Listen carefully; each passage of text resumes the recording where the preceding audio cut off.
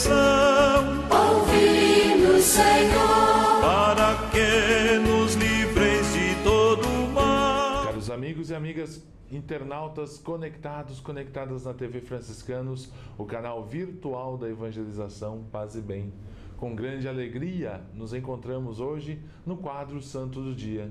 Queremos rezar, refletir sobre São João Crisóstomo, João Crisóstomo é muito conhecido na história da igreja por suas eloquentes e profundas pregações, também conhecido por garganta, por boca de ouro, por proferir palavras profundas sobre a palavra de Deus e sobre a vida de nosso Senhor Jesus Cristo.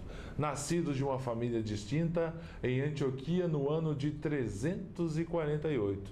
Depois da morte do pai, sua jovem mãe tratou de providenciar os melhores professores para este amado menino. João nasceu com alma monástica, tanto que por várias vezes, por duas vezes, né, passou anos de silêncio no deserto.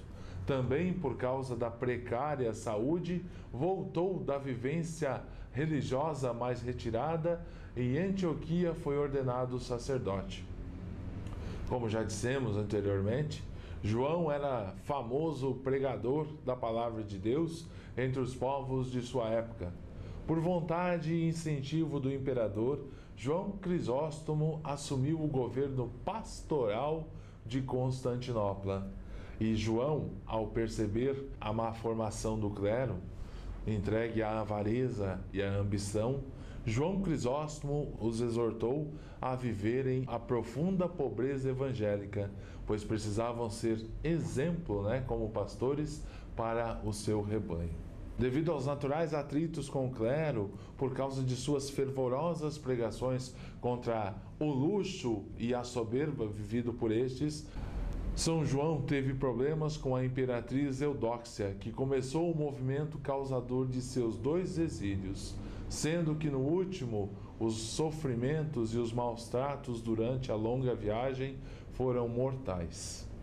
Amado pelo povo e respeitado por todos, São João Crisóstomo morreu em 407 e deixou, além do seu belo testemunho de 10 anos de pontificado, uma extensa obra em louvores a Deus. E suas últimas palavras, ao qual resumiram toda a sua vida, foram: Glória seja dada a Deus em tudo. Que São João Crisóstomo interceda a Deus por todos nós, para que possamos proferir por nossos lábios palavras que construam e não destruam a vida das pessoas, que possamos levar alegria onde há tristeza, amor onde há ódio, que possamos levar para nossos lares as profundas bênçãos de Deus, para que tenhamos sempre vida e vida em plenitude. A todos paz e bem, e até outro dia, no quadro O Santo do Dia. Ouvindo, Senhor, para que nos livres da morte eterna. Ouvindo, Senhor, os pedimos por vossa encarnação.